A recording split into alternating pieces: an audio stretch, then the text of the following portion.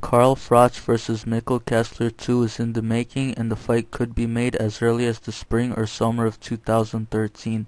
And Kessler beat Froch the first time they fought in 2010 by a close unanimous decision. And Kessler is one of only two men to have ever beaten Froch with Andre Ward being the other. In their first meeting, Kessler threw and landed more punches in the fight, winning the majority of the rounds and picking up the close but clear unanimous decision.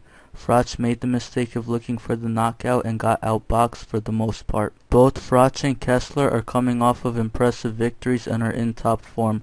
Earlier this year, Froch upset undefeated Lucian Bute, knocking him out in five rounds and followed that up with the knockout over Yusaf Mack. Kessler has had an impressive year as well, knocking out Allan Green in four rounds and needing only three rounds to knock out Brian Magee. If this fight is to take place, Froch's IBF super middleweight title and Kessler's WBA super middleweight title would be on the line, meaning the winner would be the unified champion of the division. Both fighters are at the peak of their careers and this could lead to an even better fight than their first. Thanks for watching the video and leave your comments on if you think the Froch vs Kessler rematch will happen soon and who you think would win the fight.